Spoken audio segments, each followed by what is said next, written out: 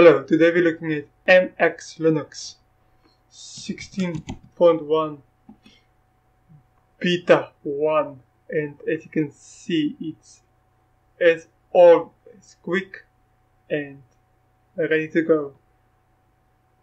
We are of course greeted with the welcome screen when you first open up. As it's not the first time without opening it up it wasn't there but that's basically the screen which greets us.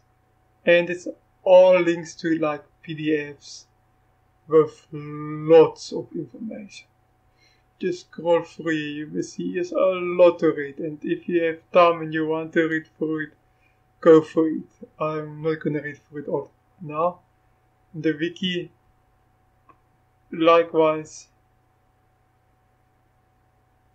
it's very cool for all this information and you can click here on applications and then you can click to lock it back up and then it gives you uh, information. There is so much information here. And it's awesome.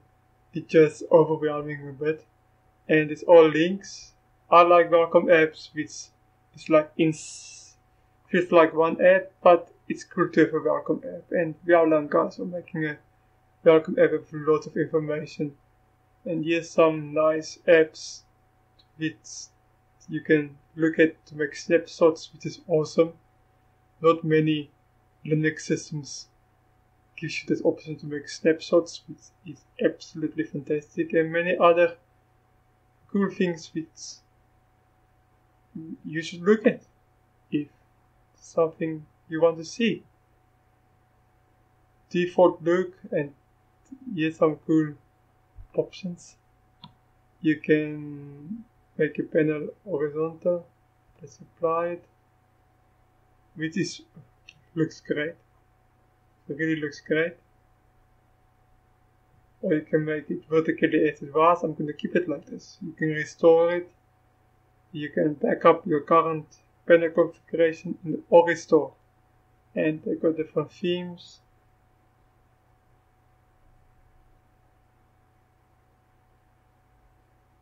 and so yeah it's I love how they give different options.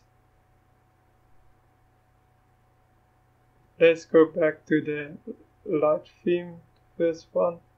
And you can give Firefox a dark theme tweak because sometimes in the dark Firefox just looks bad the writing you can't see so it's good that they got a theme tweak.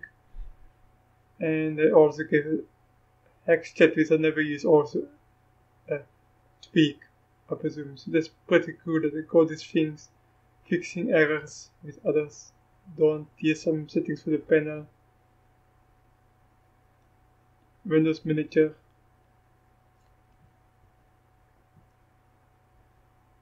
And appearance. So in general I really like this. You can even like the different themes here color themes, dark themes, light themes, audio themes, different icons, different fonts, and different settings. Very cool. Love it. If we close it here, we can go to forums. I like that it looks like a PDF, but it's most probably just like a link to a, to a website. And I like these PDF fields much more than just links to websites. So good, good, good, good. And of course, because of videos, it will take us to the internet, which is acceptable by all means. And because it's based on MX16, that's 1.beta1, you can look at the videos here. This is very good contribute. Please help these guys. They're doing a great job. And time and talent, funds, donations. They deserve it. Popular apps. Let's start with password and see if it's like an app center or what's gonna happen here. Yeah, it's like a place to install apps. It's awesome. If you install Audacity, I love the software center. It looks nice. It's easy to use, and it's based on Debian apt-get also works, which is fantastic. So let's continue. I'm gonna switch to the other workspace just so this one can work here while we continue to look around. So here we finished with the welcome app, so let's look at the desktop now. If we right click on the desktop, it gives us lots of opens, options. Open in, in new window, create launcher. You can create a Firefox launcher, I imagine. But now it's a bit, yeah. And this is installed for Audacity. On the other side, and you can create a URL link for let's say mail or anything. Just remember to write www dot before before a thing and create a new folder. You can create empty file, you can run a command. Let's say we run a command called LibreOffice. Pretty neat.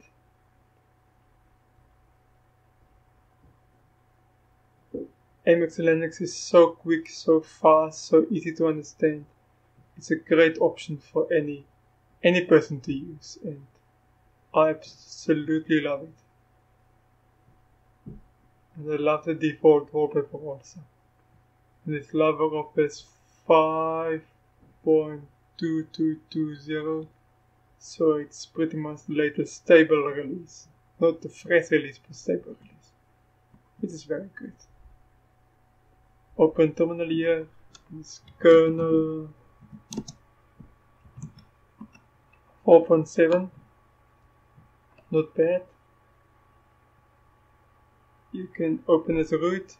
It is interesting that you can open systems as a root without having to type your password which is very interesting.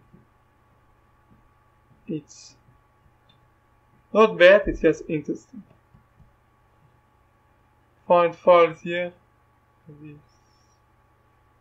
Click here then you can like search in your current directory in your file system or in your administration you like your own folder or any other place you want to look. And here's some settings is awesome. Create symbolic link for your desktop and then you can share it anywhere you want. Share a folder on your network you want to share any folder on your computer. I love all these options. I love all these options. Here, here you can choose what you want to share. Desktop settings. Some different wallpapers for us to choose from. Let's choose a butterfly. And yeah properties. Give us some extra information. And yes a link to our menu same as which we found here. So I will look at it a bit later. And let's look at our bottom panel now. Is calendar. Interesting that it's like not here in the corner but in the middle I don't know if I like it, but it's cool, unmount, no removable device, great.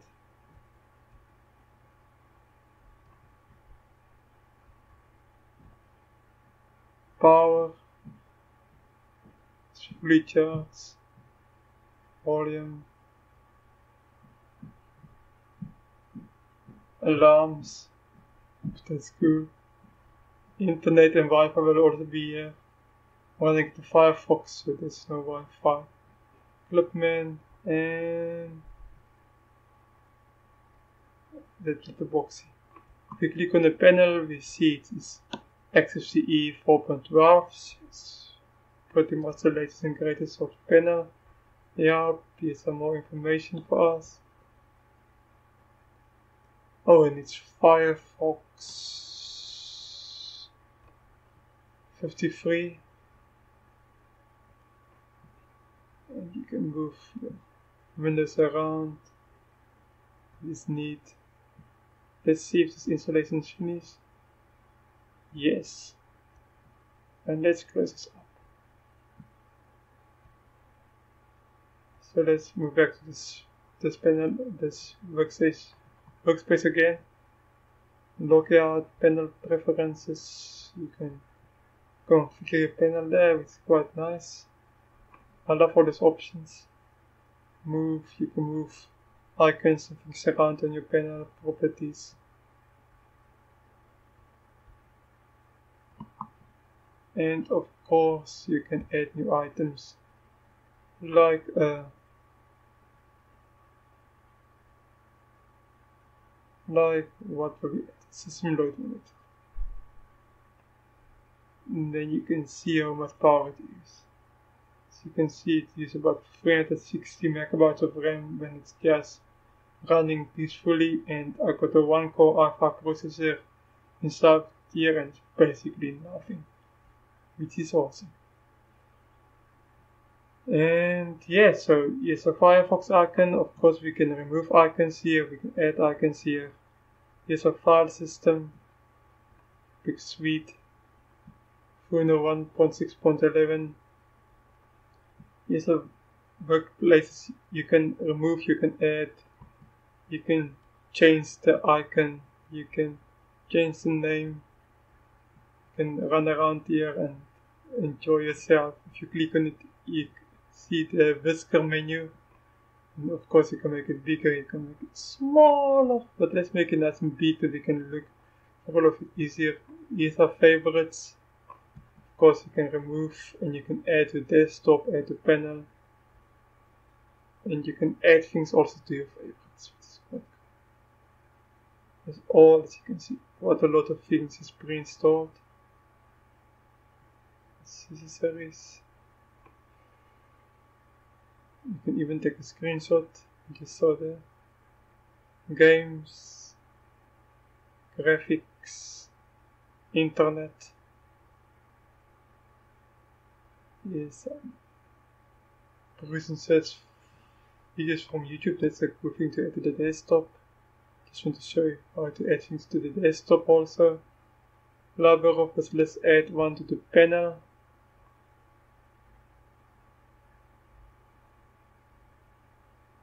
Ah, there it is. And let's move it.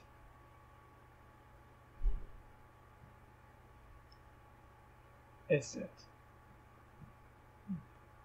Just wanted to show you how to do it if you don't know. Yes, system settings we also got a nice place to look at the top also. And here's some more information here. All about the system. So if you go to the system settings, it's normal XFCE stuff.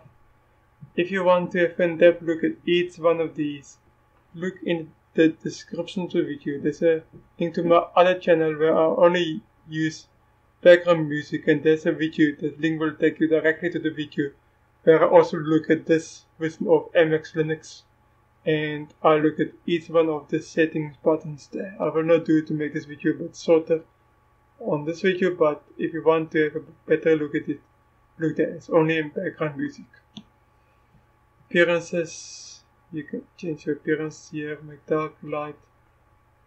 We've already looked at it. On the other side, desktop, wallpapers and stuff. File manager, you can configure your file manager here. All familiar stuff, MX default look. We looked at it already system sounds. They got a lot of their own stuff, MX tools, that's what I'm actually looking at here. Notifications you can configure here. You can configure your calendar here, panel here. Set your preferred applications, set, set your screensaver settings, Windows buttons, Windows Manager, Windows Manager tweaks, workspaces. Bluetooth you can check it here. Display when you add projectors or extra monitors keyboard settings, mouse and touchpad, network.